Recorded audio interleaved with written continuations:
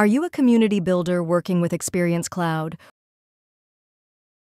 Or someone who wants to explore Salesforce CMS to level up your platform skills? Let's dive in.